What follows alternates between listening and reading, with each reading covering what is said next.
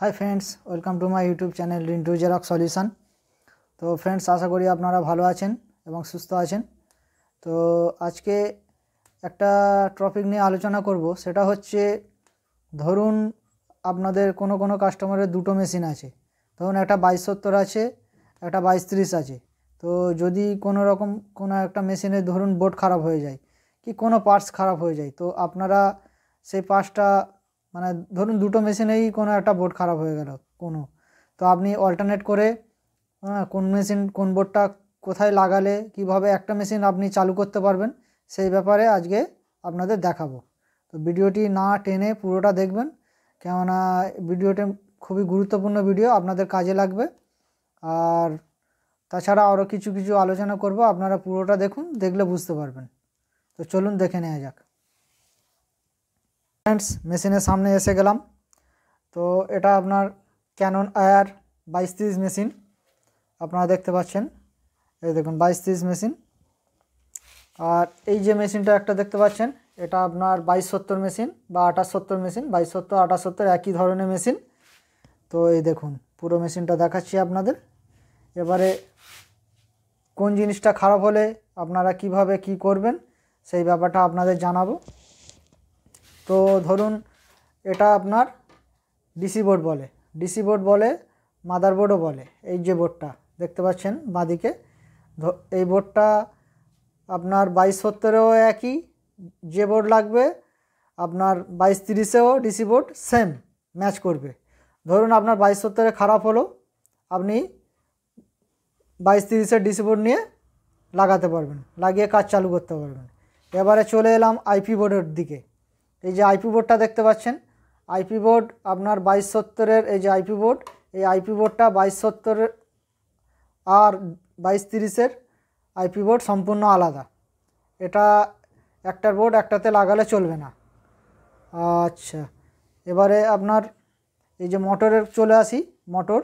এই মোটর আপনার same motor আপনি খারাপ হয়ে গেলে আপনি বাইশ বাইশ তিরিশের, বাইশ সত্তরে বাইশ সত্তরে বাইশ তিরিশে লাগিয়ে কাজ চালাতে পারবেন।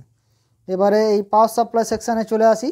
যদি আপনাদের মেশিনে টু টোয়েন্টি হয়, যদি দুটো মেশিন সেম হয়, তাহলে আপনি পাওয়ার সাপ্লাই লাগাতে পারবেন। আর যদি ওয়ান টেন হয়, ধরুন একটা বাইশ তিরিশ, আপনার ওয়ান টেন বাইশ সত্তরটা টু টোয়েন্টি তাহলে কিন্তু পাওয়ার সাপ্লাই লাগালে চলবে না।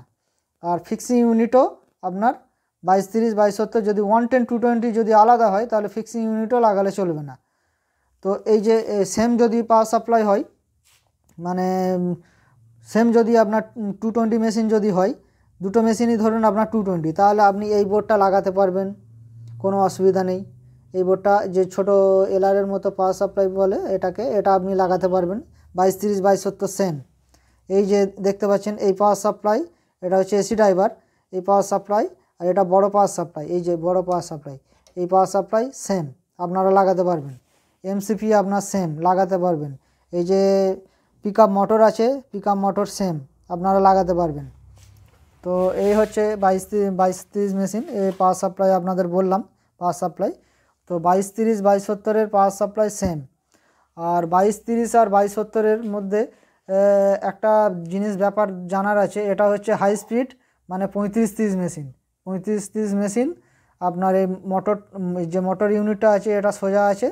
আর বাইশ সত্তর, বাইশ তিরিশের যে মোটর ইউনিটটা আছে, এটা এরকমভাবে থাকে। এই মোটরটা বাঁকানো অবস্থায় থাকে আর এটা হচ্ছে মোটরটা সোজা অবস্থায় থাকে।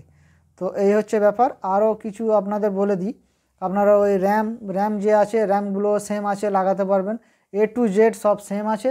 শুধু আপনার আইপি বোর্ড আলাদা আর আপনার প্যানেল বোর্ডটা আলাদা। এই দুটো বোর্ড আলাদা। তো আর আপনাদের বলে দিই।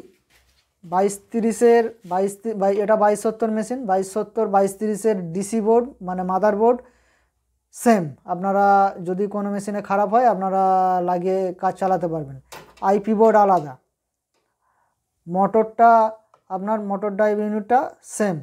এই যে মোটর ড্রাইভ ইউনিট বলে, ড্রাম ড্রাইভ ইউনিট বলে, এটা সেম। বাইশ তিরিশ, বাইশ সত্তরের সেম। ভালো করে বুঝুন। আচ্ছা এই যে র্যাম আছে, এই যে বুট র্যাম বুট র্যাম আলাদা। এইচডি র্যাম এই যে উপরে এইচডি র্যাম এটা সেম সেম মানে বাইশ বাইশ সত্তরে আপনার দুশো ছাপান্ন লাগে। যদি কম্পিউটার প্রিন্ট আউট হয়, তাহলে পাঁচশো বারো লাগবে। বাইশ সত্তরে ভালো করে বুঝুন। বাইশ সত্তরে যদি কম্পিউটার প্রিন্ট আউট হয়, তাহলে আপনার পাঁচশো বারো র্যাম লাগবে। আর যদি কম্পিউটার প্রিন্ট আউট না হয়, তাহলে দুশো ছাপান্ন র্যাম লাগবে। আর বাইশ তিরিশে আপনার একশো আঠাশে কাজ চলে, আপনার দুশো ছাপান্নও কাজ চলে। তো যদি বাইশ তিরিশে কম্পিউটার প্রিন্ট আউট করেন, তাহলে দুশো ছাপান্ন মাস্ট লাগবে। আর যদি কম্পিউটার প্রিন্ট আউট না করেন, তাহলে আপনার বাইশ যদি কম্পিউটার প্রিন্ট আউট না করেন, তাহলে একশো আঠাশে আপনার কাজ চলে যাবে। এবারে আপনি কম্পিউটার প্রিন্ট আউট করছেন না, কিন্তু বা, দুশো ছাপান্নর যদি আপনি এসডি র্যাম লাগান দুশো ছাপান্নর, তাহলে দুশো ছাপান্নয় আপনার এমনি প্লেন কপিও হবে। তো তাছাড়া যদি আপনি কম্পিউটার প্রিন্ট আউট করতে চান, তাহলে আপনি হার্ড ডিস্ক লাগিয়ে নেবেন আর বুট র্যামটা চেঞ্জ করে নেবেন। এই যে বুট র্যাম আছে, এই বুট র্যামটা চেঞ্জ করে নেবেন। নিলে হয়ে যাবে। আর যদি আপনাদের আর আরও কিছু বলে দিই, আপনাদের এই যে লেজার আছে, এই যে লেজার মেশিনে লেজার আছে হ্যাঁ লেজারটা আপনাদের বাইশ তিরিশ, বাইশ সত্তরের সেম লেজার বাইশ তিরিশ, বাইশ সত্তরের সেম কাউন্টার বাইশ তিরিশ, বাইশ সত্তরের লাগালে কাজ চলে যাবে। এই যে কাউন্টার দেখতে পাচ্ছেন, এই যে কাউন্টার এই এটা আর এটা, এই দুটো মিলিয়ে কাউন্টার এ কাউন্টার আপনার বাইশ তিরিশে যদি আপনি বাইশ সত্তর লাগান, তাহলে আপনার বাইশ সত্তর লেখা উঠবে, কিন্তু আপনার কাজ চলে যাবে। তো এইসব নলেজগুলো অনেকের নেই, অনেকের জানা নেই, আপনারা ভালো করে এটা শুনবেন, শুনলে আপনারা ভালো রকম নলেজ পাবেন। তো ভিডিওটি ভালো লাগলে অবশ্যই লাইক করে দেবেন, আর চ্যানেলে নতুন হলে অবশ্যই সাবস্ক্রাইব করবেন। কেন এরকম নিত্য নতুন ভিডিও সত্তর সেম আর এই যে দেখতে পাচ্ছেন আপনার এখানে যে রিডার বোর্ড আছে এই যে রিডার পিসিবি আছে রিডার পিসিবি সিসিডি এই যে সিসিডি আছে বাইশ তিরিশ বাইশ সত্তরের সেম এই যে সিসিডি কেবেল আছে বাইশ তিরিশ বাইশ সত্তরের সেম আর এই যে প্যানেলটা প্যানেলটা আলাদা সে তো আপনারা ভালোভাবেই জানেন। প্যানেল আপনার বাইশ তিরিশের ছোটো সাদা কালো ডিসপ্লে হয়।